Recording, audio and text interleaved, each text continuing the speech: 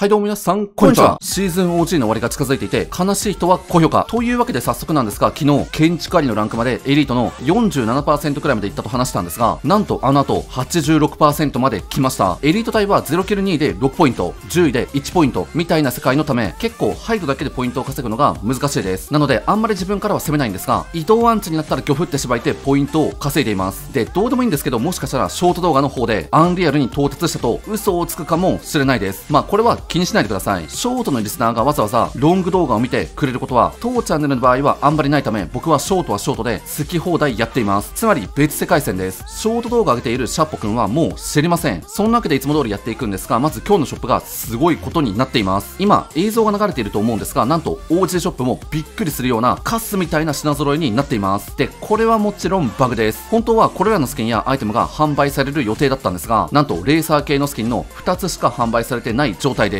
でこれは以前も話した通りショップでアイテムが販売される仕組みは事前にデータ内に追加されているショップのファイルの番号を指定して表示しているわけなんですがなんとまたもや存在していないファイルを指定してしまったことでこういう虚無のショップが爆誕してしまったわけです。というわけでショップで虚無を購入する際はクリエイタースポート SHP をもよろしくお願いします。でちなみになんですけど昨日エルフというスキンが単品販売されるとすごい話題になっていたんですがなんと普通にバンドルが再販されただけでした。まあよくよく考えてみるとなんでエルフが単品販売されると話題になっていたのかはよくわからなかったんですよね。エピックの公式 Twitter アカウントが再販を匂わせていたのは確かなんですがおそらくそれを見た大物リーカーが勘違いし情報発信したのが広がってしまったというのが理由だと思います。まあ大物リーカーって裏で事前に得ていた情報をしれっと出すこともあるためこういう話も信憑性があると勘違いされがちです。で肝心のエルフが含まれていたこのバンドルは12月7日までの販売で同じく再販されたこっちのバンドルも12月7日までの再販となっています。で次は昨日の動画で話した通り先週の木曜について今日バージョン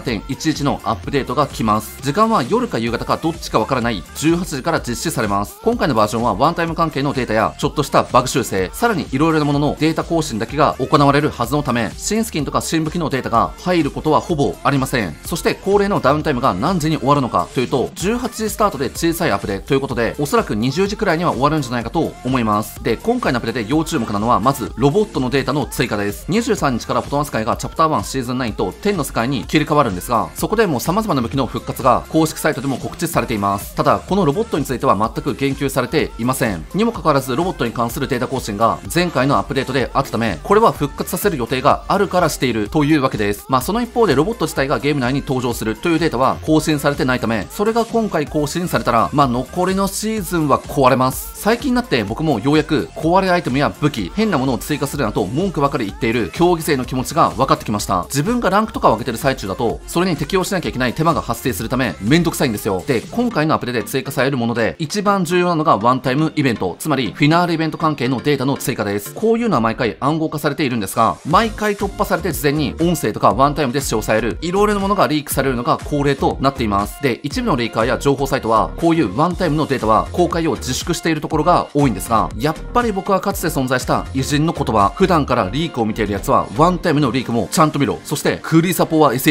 SHPO という言葉に基づいてリークされてしまったものについては動画にすると思います。ちなみにイベントの数時間前には暗号化されているデータが全部解除されてガバガバになるんですがそれはまあ夜中なのでそっちに関しては絶対動画にはできません。あとリスナーからもよく聞かれるんですが今回の僕のワンタイム配信に関しては未定です。で次はフィナーレイベントの後のチャプター5関係の話なんですがまず以前から話しているフォートナイトフェスティバルというイベントの詳細が判明しました。まず多くの音楽アーティストの曲がゲーム内に登場しそれを演奏することが可能になります。ただどういう風に演奏できるのかは不明でまあおそらく音ゲーみたいな感じになると言われています。でこれは翻訳の関係でよくわからなかったんですがこの音ゲーに通常モードとランクのモードがあるのかあるいは音ゲーをバトル1の通常マッチおよびランクまでミニゲームみたいに遊べるかは謎なんですがとにかくこのフォートナイトフェスティバルというイベントは通常モードとランクマッチに影響する何かがあるみたいです。で登場する楽曲の一覧はこんな感じ。特にレディー・ガガとのコラボはエピックとアップルの裁判の頃から来ると言われていたためそれがついに来ることになるわけです。でもしかしたらこれらのアーティストのアイコンスキンが来る可能性もあるしついでに登場する曲はこれが全部というわけでもないためさらなる楽曲が今後登場する可能性があります。でここで今世界中で期待されているのがトラビスの再販です。今回のフォートナイトフェスティバルにトラビスの楽曲が登場するならスキンも再販されてもおかしくないわけです。トラビスの再販についてはフォートナイトの歴史上2回の面白いエピソードがあってまず1回目が2021年の2月10日。これはトラビス・スコットの日と言われていてこの日に再販されるんじゃないかというものです。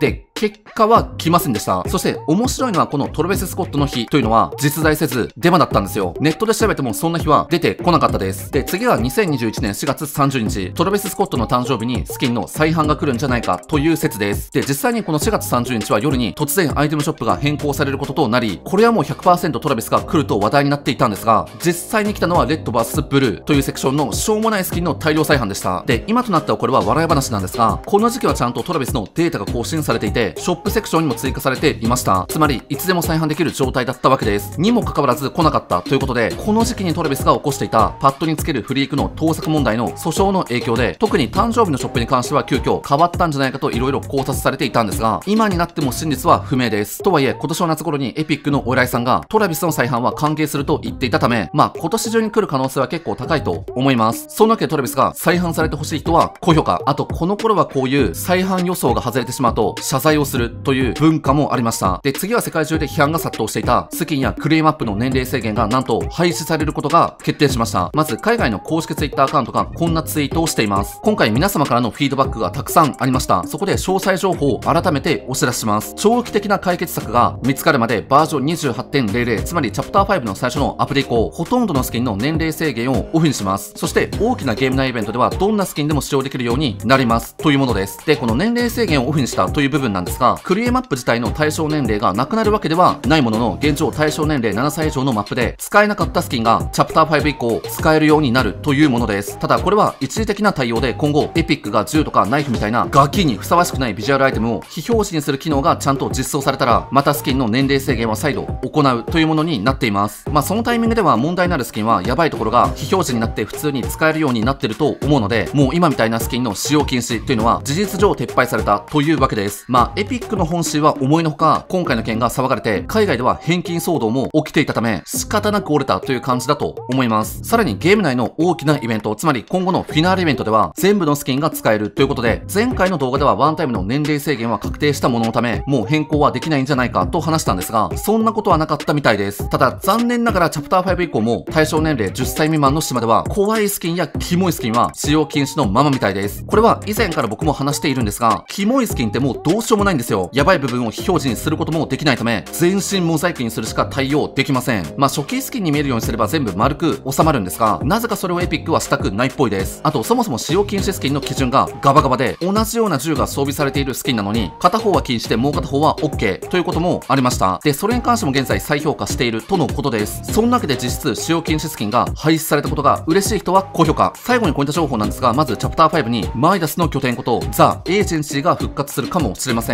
なんとリークされているチャプター5のマップにそれっぽい場所がありました。僕は以前からチャプター5はチャプター2のリメイクになるんじゃないかと予想していたんですが、それが当たっているかもしれません。次は当初バッシュとレックスの合体スキンと言われていた、このスキンが正式にブライトガンナーとレックスの合体スキンであることが、これを作ったアーティストのツイートから判明しました。まあ、どうでもいいっちゃどうでもいいです。最後にランクマッチの建築ありのトリオが今後永続的に調節されることが決定しました。これは嬉しい人が多いと思います。